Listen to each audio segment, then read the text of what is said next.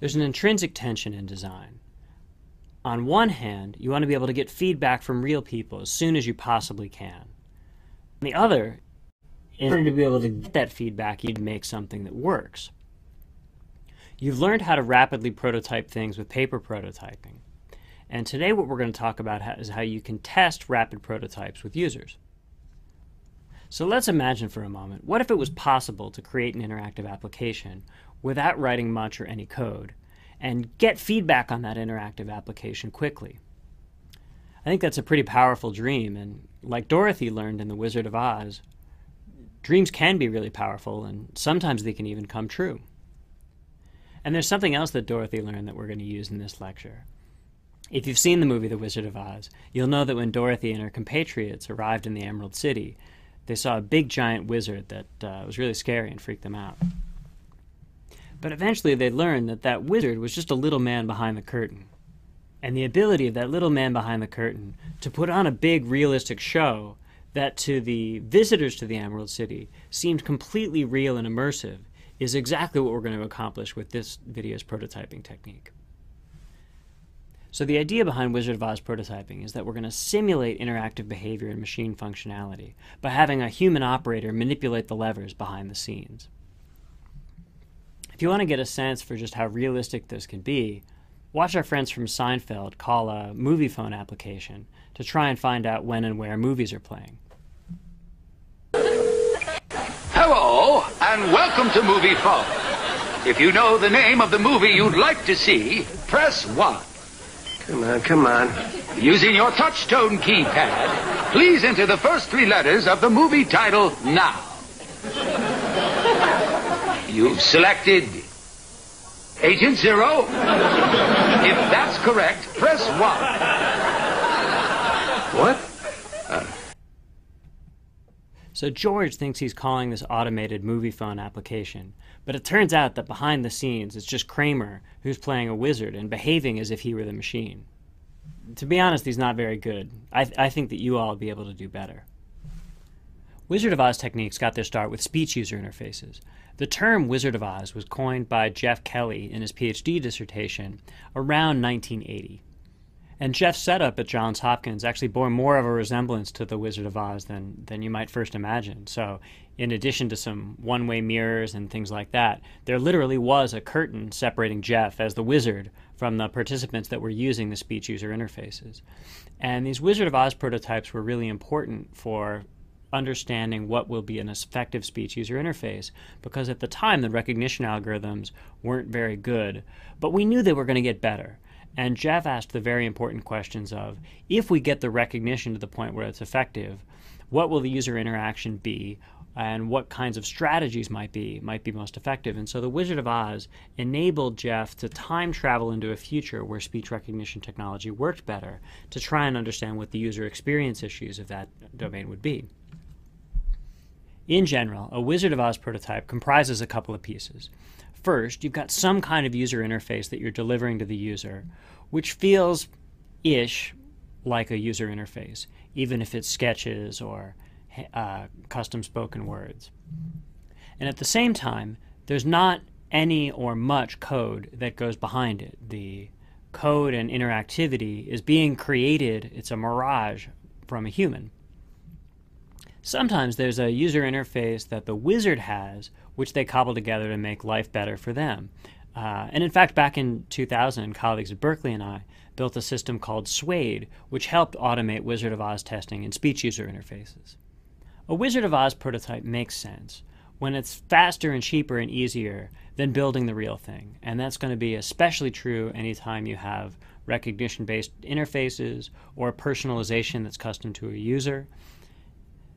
This trade off of whether it's cheaper and faster and easier is also going to depend on your abilities. There will be some things that you know how to do quickly and easily, and that you might just implement. And there's other things that may be more difficult or, or more time consuming for you, and those you'll choose to Wizard of Oz. Wizard of Oz prototypes, like almost any other kind of prototype, can be higher or lower fidelity. And there's some important trade offs here. The higher fidelity of the prototype the more it feels like the real thing to users. In fact, sometimes you can build an interface that people don't even know is being powered by a wizard. as in the famous story of the mechanical Turk who was inside a chess machine. However, making a high fidelity user interface is going to take a lot of time, and users may, may be more reluctant to critique a user interface that's really high fidelity. And so early on, I recommend quick and dirty paper prototypes being the most powerful thing to use for a Wizard of Oz test because users will feel like they can give you any kind of feedback. It's clear you haven't put a lot of time into it yet. And it's fast for you to make, and so you actually haven't put a lot of time into it yet. A few years ago, my friend Sepp Kamvar created a company called Aardvark, which is a social search engine. It was really good at helping you use your social network to find answers from other people so the way that it works is you ask a question via instant message via Google Chat, and it's going to automatically route it to a friend of yours or a friend of a friend who has the expertise to answer that question. One of the hard parts about building a service like this is how do you do the routing? Eventually, they figured out an algorithm to do this, but to bootstrap that, both to figure out what algorithm to build and to figure uh, and to get a user experience going before they had built anything, they had a Wizard of Oz prototype. So the way that it worked is that Aardvark employees would get the question and they would manually select the person that it was going to get routed to. Damon Horowitz, the co-founder of Aardvark, put it this way in a conference. He said that if people like it in this super crappy form, then it's worth building because they'll like it even more when we build the real thing. So if you want to be like Kramer or Aardvark, how can you make a wizard-powered prototype? Here's a sketch of what you'll need to do in five easy steps. First, figure out what scenarios you're going to support. It's a lot easier to build a Wizard of Oz prototype for a limited set of functionality.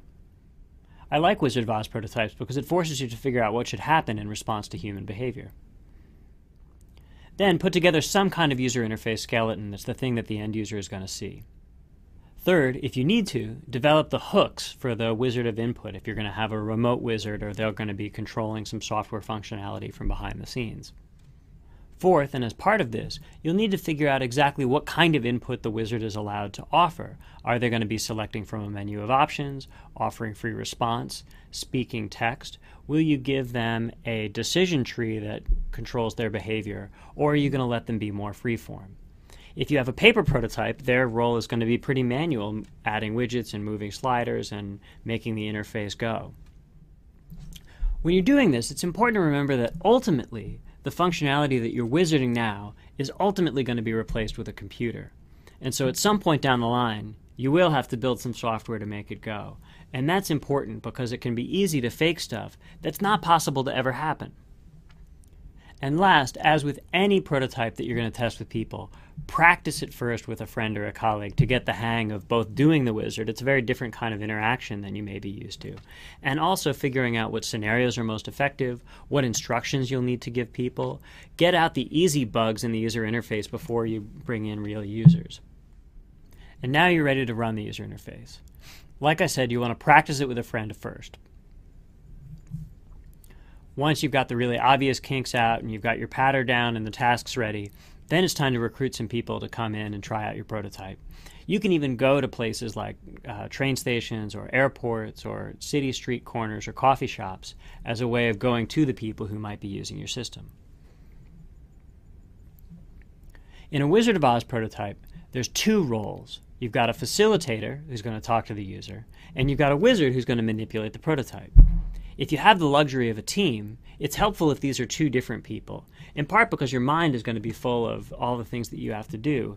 And if you separate these roles, each person can concentrate more, do a better job, and you have two sets of eyes looking at what the person's doing, so you can learn more.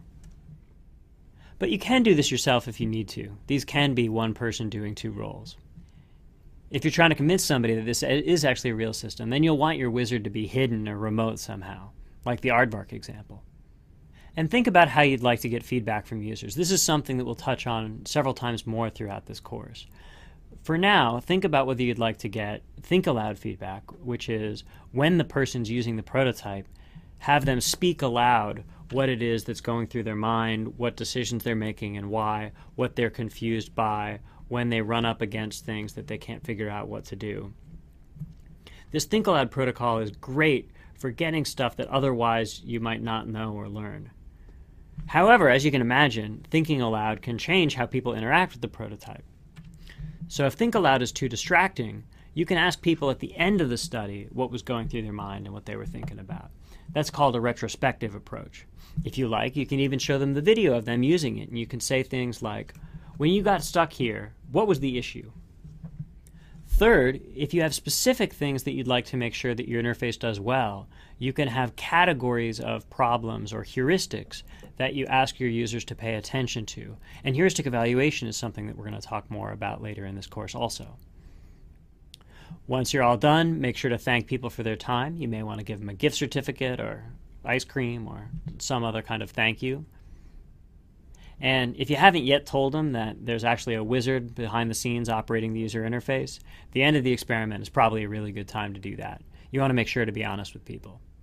You can use wizards throughout the entire development of your software, not just at the very beginning. And so if you have the fully functional software here, and over time you move towards that, you can use wizards to fill in the gap of whatever's not built at that time. So the wizard may do all of the interaction at the very beginning, and then as you get closer and closer to a final project, you can have it just fill in only the parts that aren't done yet. As you can see, there's a lot to like about Wizard of Oz prototypes. They can be really fast to make, which makes them cheaper, and it also means you get to turn the crank on iteration more. Because they're quick, you can rapidly create multiple alternatives. And if you decide that you want the implementation to work differently, you just give your wizard different instructions. There's no code to rewrite. Because it is, in a sense, interactive, it's more real and you get better feedback than just from paper prototyping. Although using paper prototypes as the substrate for a wizard is an excellent strategy early in the design process. It's a great way to get feedback about bugs and problems with your, your user interface design. Every single user interface that I've ever built, or that I've ever seen built, or that students of mine have ever built, has had bugs early on. It's too hard to get right the first time. You're going to need to iterate and fail fast so that you can succeed sooner. And Wizard of Oz is a great tool to be able to do that. Because you're getting feedback from users early, it's a great way to place people at the center of the development process.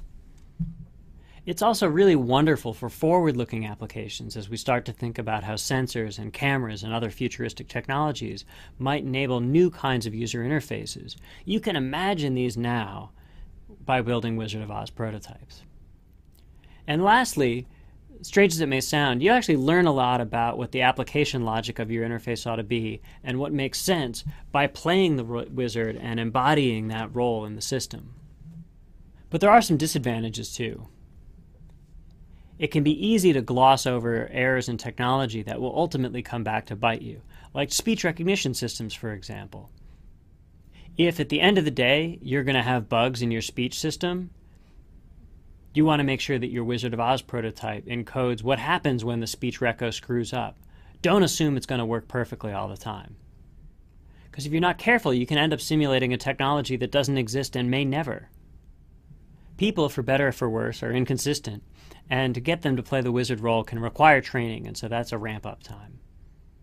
And because you have to have a physical human there to run it, your runtime efficiency is slower, and it can be more exhausting for the people that are playing the wizard role.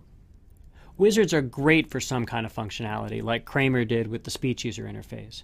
But other stuff, it, it's harder to figure out what you can do with a wizard interface, and, and it may not be quite as effective. It may be clunkier or it may simply be inappropriate. There are some situations where having a wizard around eh, may not be okay. All in all, I think wizards are an incredibly powerful technique and a really fun one to stretch your creativity. What kinds of new user interfaces can you imagine by, by creating a Wizard of Oz prototype? I'd like to thank Steven Dow in creating this lecture. I drew on a lot of the materials that he's used in writing and speaking about Wizard of Oz prototypes. And if you're interested in learning more about wizards, you can see these resources here.